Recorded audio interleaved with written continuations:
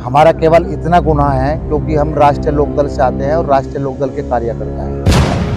श्री संजीव बालियान जी और पूर्व विधायक उमेश मलिक जी, ये लोग जो है पूरा निरंतर अपना प्रयास कर रहे हैं, दबाव बना रहे हैं। कल हमारी मम्मी के खिलाफ कार्रवाई हुई, हमारी मम्मी के अधिकार सीज हुए कोई बोलेगा तो उसके खिलाफ मुकदमे होंगे, उसके खिलाफ कार्रवाई होगी, सर। तो इन्होंने मंत्री जी ने, इन्होंने सबने दबाव बनाया कि आप लोग इधर आओ और इधर हमारा समर्थन करो, आप हमारे तक हमारे दम में दम रहेगा तो हम राष्ट्रीय लोकदल का झंडा कभी झुकने नहीं देंगे बुढ़ाना विकास का दुश्मन संजीव बालियान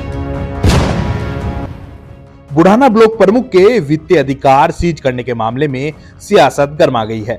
पूर्व प्रमुख विनोद मलिक खूब गर्जे और मुजफ्फरनगर सांसद एवं केंद्रीय राज्य मंत्री संजीव बालियान और पूर्व विधायक बुढ़ाना उमेश मलिक पर आरोप लगाए हैं। दरअसल ब्लॉक प्रमुख पालो देवी, पूर्व प्रमुख विनोद मलिक की माँ है।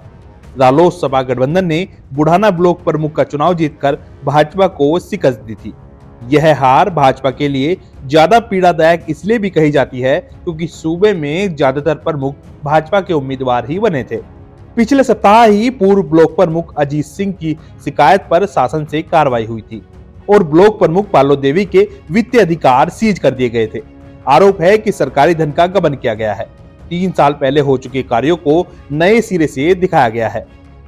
पूर्व प्रमुख विनोद मलिक ने प्रेस वार्ता कर कहा कि जिस दिन से उनकी माता प्रमुख बनी, तभी से क्षेत्र की जनता विकास को लेकर लड़ाई लड़ रही है। संजीव बालियान और उमेश मलिक निरंतर दबाव बना रहे हैं। इन्होंने ही ब्लॉक प्रमुख के खिलाफ अनुचित रिपोर्ट शासन को भिजवाई है। हमारा सिर्फ़ इतना गुना है कि हम राष्ट्रीय लोकदल के सिपाही हैं। राष्ट्रीय लोकदल का झंडा हम कभी झुकने नहीं देंगे। जिन कामों को मुद्दा बनाया गया है, वो पूर्व प्रमुख अजीत उर्फ़ बबलू के कार्यकाल के ही थे, जो शिकायत करता है।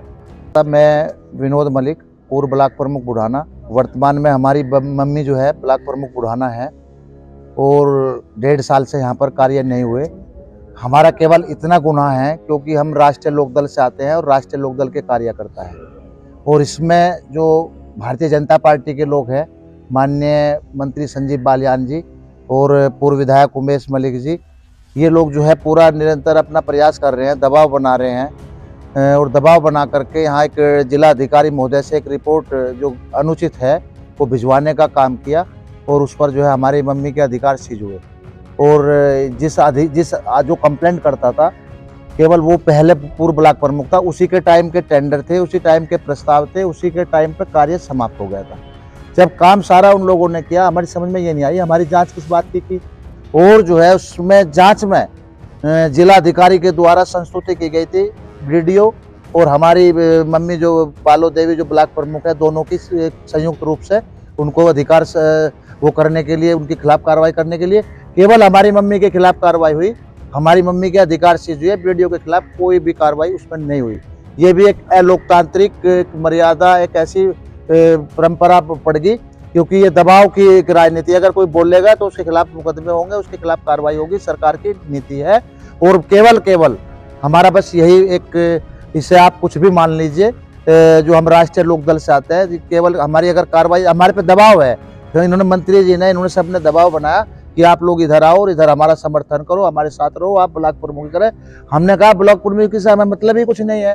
हमारा मतलब केवल विचारधारा से चौधरी चरण सिंह जी की विचारधाराओं में हम रहते हैं और उन्हीं की विचारधाराओं में रहते हुए हम विकास लोगों का कराते हैं और वो हमेशा कराएँगे। जब तक हमारे दम में दम रहेगा तो हम राष्ट्रीय लोकदल का झंडा कभी झुकने नहीं देंगे बुढ़ाना चाहते हैं अब तो हमारे राष्ट्रीय अध्यक्ष हैं राष्ट्रीय अध्यक्ष हैं हमारे जो चौधरी जयंत सिंह जी।